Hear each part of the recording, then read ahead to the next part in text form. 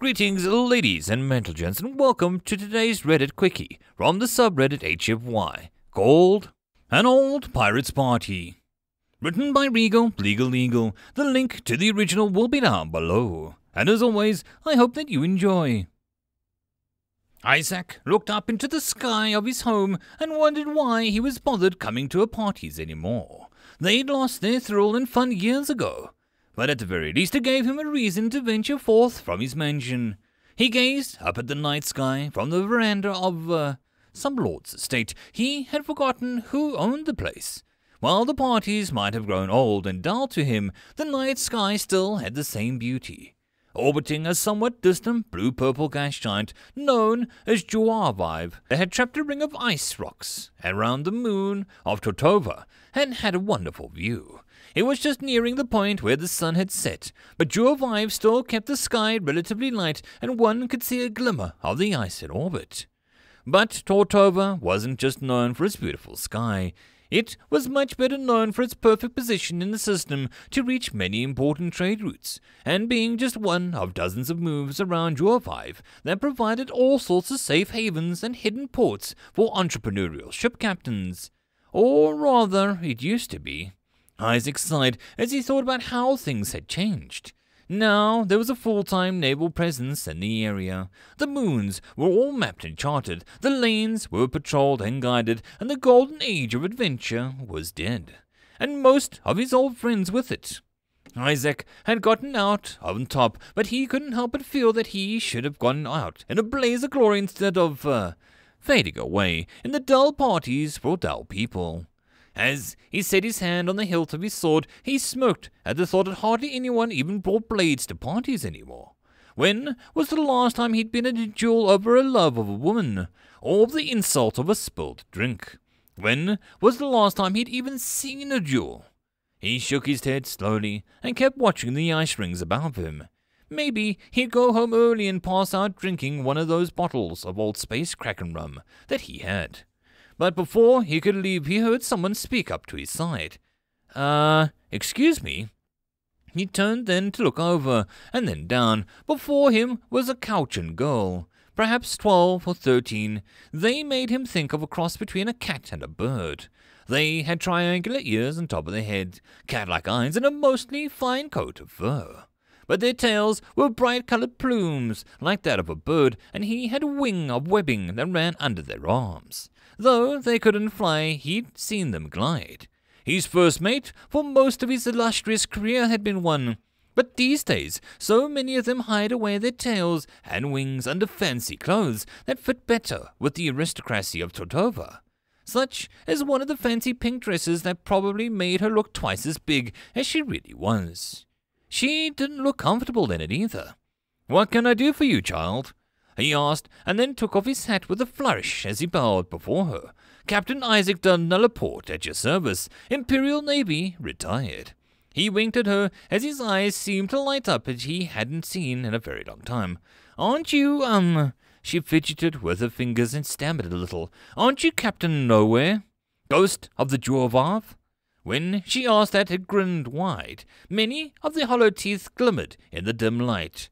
They were considered gaudy and passe these days by most of the high class, but they'd seen all the rage in his prime. He pressed a finger on his lips and made a soft shh. Don't tell anyone. They all think I'm just some old icy void dog, but you've got a good eye on you. He grinned at her once more. Did you really lose your arm to a giant crag snapper? She asked as he chuckled as he held out his hand to let her see the synthetic fingers. Just the fingers, the bastard tried to eat my favorite navigator. Couldn't allow that now, could I? He teased. She was looking up at him with a mixture of awe and wonder that he hadn't seen in. Uh, how long had it been? He looked at her and then out over Lord What's His Face personal garden, over the back of his estate, and waved over to it. I once jeweled Baron Ventinia over there, you know, back when he owned this place. Just before you cut out his eye and stole his wife, she finished for him, which made him chuckle. She wasn't his wife, and since no one belongs to anyone but themselves, I didn't steal her from anyone, he corrected. Which is why you destroyed the Royal Bank's debt holder office in Parasol, and then slipped between the rings to make your escape when they called off the whole fleet after you. She just rattled off some of his past work that he could only chuckle and grin once more. Allegedly, my dear, allegedly. After all, what pirate would destroy so much money rather than steal it for himself, he asked. But, but because everyone can be from nowhere. Everyone can start life new. All they need to do is join your crew. He smirked as she used his old slogan to get more crew members when he was in port. You were born a bastard and, uh, oh, I'm sorry. She realized what she'd said and he just laughed. No, no, quite right. A born bastard and a living bastard according to my enemies, he teased. I was cast out by my father, and then dedicated your life to bringing him down and claiming his noble title, as your own, culminating in the infamous raid on Governor's Palace, where you killed your evil brother and father and stole the title for yourself shortly, before the equally famous Twilight invasion of the Imperial Navy, which many claim that you planned and guided. All the other captains were involved. Captain Dreadbolt, Bloodblade Robert, Ironhide Averick, Madame Leroux. Since she began to list off some of his old friends, his smile slowly faded. How many of them had he lost? He negotiated a deal with the Imperials, trading treasure for title, and gotten out of the game. But the others, well, most of them hadn't made it to the same sort of plans. They didn't understand how different it would be when the Imperials invaded. Then the system was filled with standing navies, and the increase of importance to various nations involved meant pirates were getting pushed out. Used to be that lone merchantmen fat with treasure from the Azronian Crusades, or even gold and silver from the mines of Plantanova. They were now coming in convoys, then armed convoys, then they didn't need to stop to refuel or discharge around the gas giants as much. And all the safe routes through the moons were charted. The treasure fleet stopped. The gold and the silver started being processed locally. And now the shipments were more about grain and ore than anything else that a pirate could use easily. For a brief, wonderful period, Isaac had been the right person in the right place, doing what only he could achieve. And now it was over, never to return. Captain Nowhere, he returned to reality as she spoke and focused on her once more. She looked up at him with a worried expression. How long had he been standing there, silent? My best friend for decades was a Cauchan, you know, he said as he tried to figure out what to say to the girl. Rainbow Rick, he. I think he was my great uncle, but, uh, my family doesn't really want me asking about that sort of thing. They say it's not polite anymore. He laughed, and she mentioned that and gave her a more focused look. It is true that Baron Ventenia hid jeweled flowers around his garden for both lovers and victims of his. She asked, and Isaac smiled once more. Now there was a son of a bitch with a sense of style. He insisted his ship and his incredibly intricate gold rose etched into the bow. I stole it. Twice, but yes, I'm sure there is still a few of those flowers out there. He waved at the garden and the hedge maze in the distance. Want to go find one? he asked. She brightened up for a moment and then looked suddenly worried. Her ears twitched about as she looked to the either side and wrung her hands. I'm I'm not supposed to leave the veranda. It'll ruin my dress. It's very expensive. She said, and Isaac looked around for a moment before picking up his rum and tunic juice before splashing the drink over the front of her dress. The green juice stained the pink fabric immediately as she gasped out, There, dress ruined. Now let's go have an adventure. He grinned at her, and after a moment she nodded and turned around. Could you please grab the big string and pull? she asked, pointing to the knot held the dress in place. He arched a brow but reached out and tugged. As if it came free, she tucked her arms into the dress, letting it fall to the ground, as she revealed beneath it a smaller spacer suit like so many pirates wore in his day. He laughed at the sight of a young girl wearing an old, oil stained, greasy outfit like that, but he noticed the bright rainbow plumage of her tail, and as she stretched out her arms, he could see that she had modified the sides of the suit to allow her wings room. Her feathers shimmered in the light, making an unmistakably familiar pattern to him. You've just got to be related to Rick, he muttered, and when she turned, she smiled up at him and saluted. Sophia Naljipa Rochella, reporting for duty, Captain. She took a moment to salute back. Welcome aboard, Rainbow Rochella. Let's find some treasure. He turned and jumped over the edge of the veranda, then waiting for her to quickly hop over and follow him as he rushed towards the garden in the distance, feeling an energy that he hadn't experienced in years, possibly decades. As they got near the maze, he stopped short. Hold on first, mate. I hear that there is dangerous animals in these parts that'll tear you apart if you're not careful. He looked around and then pointed as he finally saw who he was looking for. There! He whistled out and watched the golden brown dog look up. From his place in a fancy doghouse, Isaac couldn't remember the name of the lord that owned this place. How did he remember the dog? Look out, it's a vicious beast approaches. Chance came running over, then, excited at the sudden company. He jumped around for a bit, but didn't try to climb on either of them, though he did lean up to lick the girl's face. Captain, the beast has a taste for my flesh. What do we do? She gasped out as Isaac quickly picked up a stick. Never fear, first mate. We'll draw it away with this, the bane of terrible beasts everywhere. He wagged the stick in the air for a moment to get the dog's attention, and then he tossed it out into the garden. As chance went running, Isaac winked at Rochella. Now, let's hide. It'll confuse him something terrible. She was laughing as they dashed into the maze then. Soon they'd found one of the old jeweled flowers, and he'd broken it off at the base to give it to her. They played around with the dangerous guard beast for a bit and then headed around to the estate to the kitchen. It was time for him to show her a small taste of piracy. The servants inside jumped as Isaac kicked the door open and stepped in, waving his electro-saber around in one hand and his plasma pistol in the other. Yar! I am Captain Nowhere and we're here for the loot. Yeah, we're here for the ice cream, the new first mate called out as she waved a stick at them. As they stormed the kitchen, Isaac made sure to press the golden bitcoin into the hand of each of the servants as he passed waving his sword and shouting a bit, but not doing more than that, as his partner in crime grabbed several cartons of ice cream from the freezer. As they retreated from the ill-gotten gains, he snagged a bottle of rum as well, and then bowed before the surprised and shocked staff. Don't forget your run in with the nefarious Captain Nowhere. Best be off with your lives and thanking whatever ye believe in, if I left ye in one piece. He bellowed with a laugh, but then left a pouch of more golden bitcoins in the hand of one of the nearest waiter. Spread 'em around, 'twas all in good fun. He then joined his newfound crew outside on the bench in the garden. She had opened all of the cartons and seemed to have tried them all once or twice, and possibly had stuck her face into one of them based on how much she was smeared around her muzzle. He chuckled at the sight and pulled the top of the bottle of rum into his teeth and took a swig. Can I have some? she asked, pointing at his bottle. He looked at it for a moment and then grinned, his hollow teeth once more gleaming in the dark.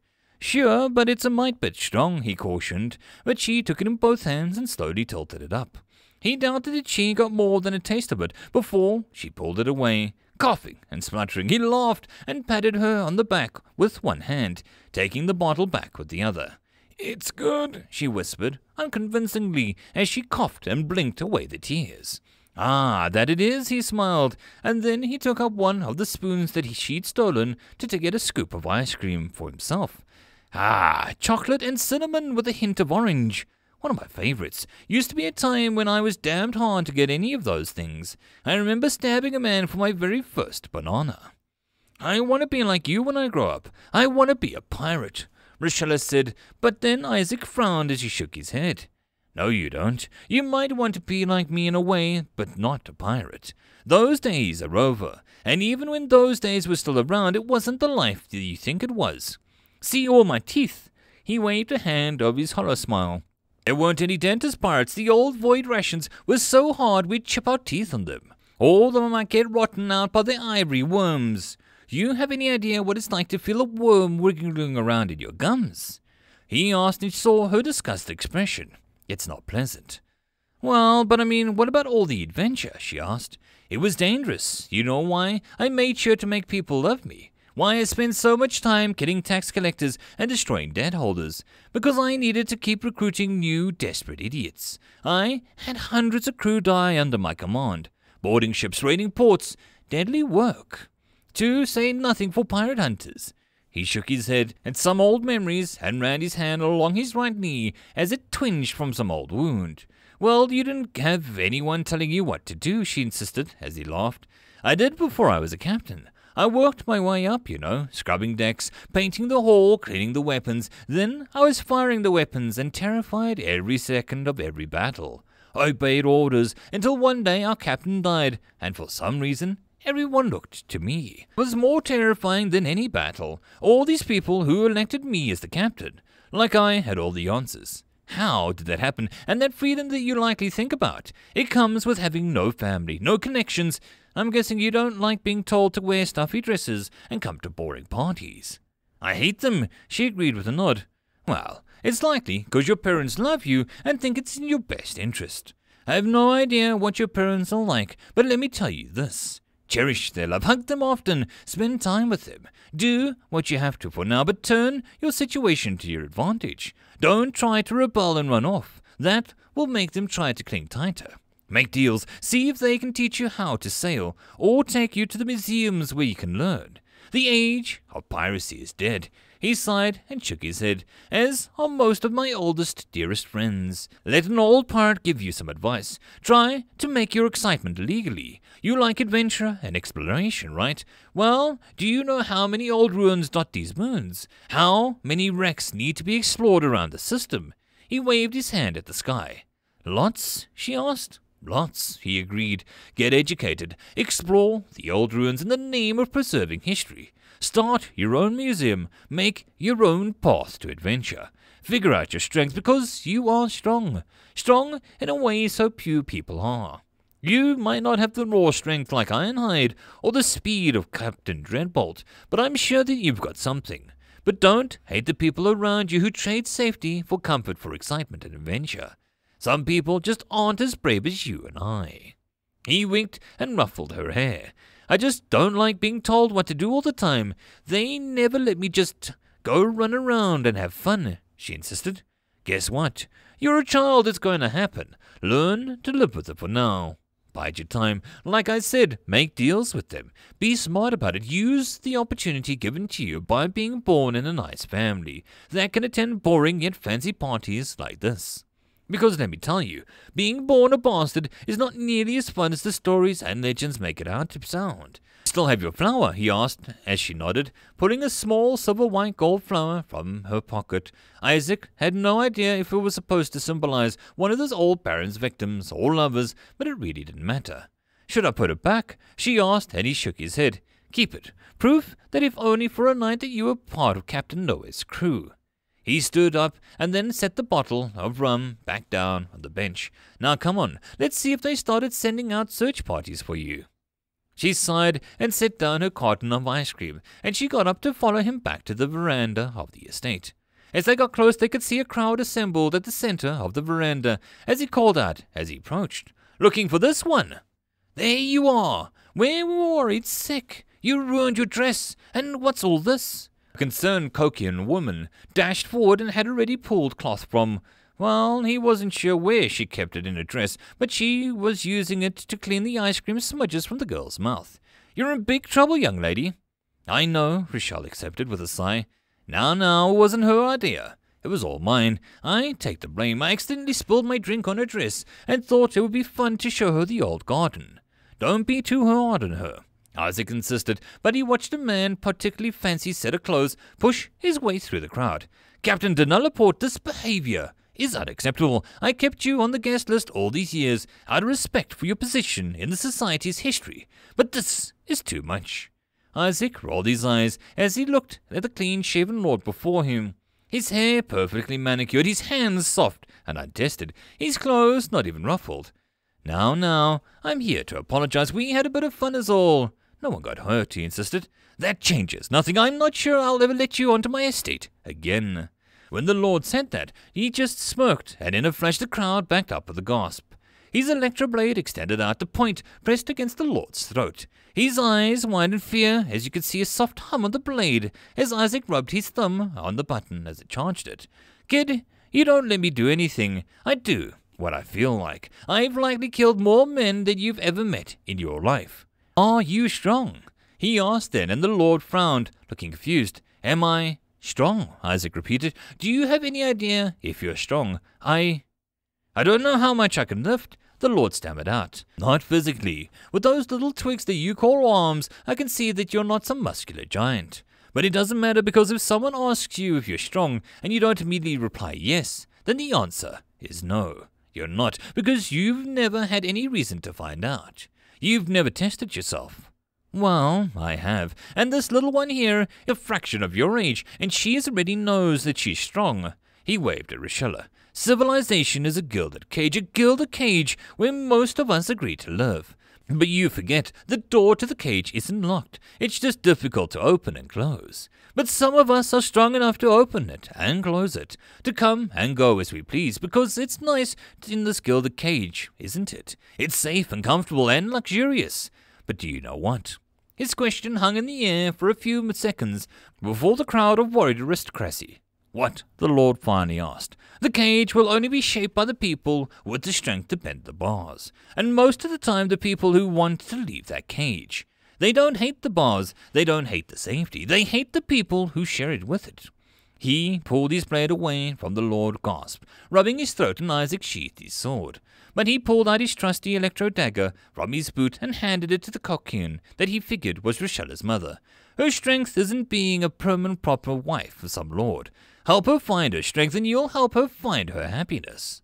With that, he rubbed the tip of the white beard, and then he removed his hat with a flourish, bowing before them all. Now, if you'll excuse me, I'm going to go get drunk, and find out if Madame Leroux is still alive. I'd almost forgotten that being a true pirate is only partly about looting. It's also about doing what I damn well please. So, to hell with these boring parties anyway. As he walked away from the stunned crowd, he grabbed the waiter by the arm. Tell the servants, maids, waiters, cooks, shallots, valets, butlers, and people like that I'm having a party at my estate. My treat, and we're going to drink until none of us can walk. Is that busty wench really Miss Scarlet? I haven't seen you since the night in Baron Vandermeer's bathhouse. He let go of the waiter before grabbing a nearby white-haired housekeeper, close as he tilted her back and kissed her, before spinning her around as if in dancing with her. He kissed her hand once more and was back on her feet and winked. Never looked better, my dear. He left her to blush and straighten out her uniform as he headed to the door, no one daring to stop him. Damn, it's good to be a pirate.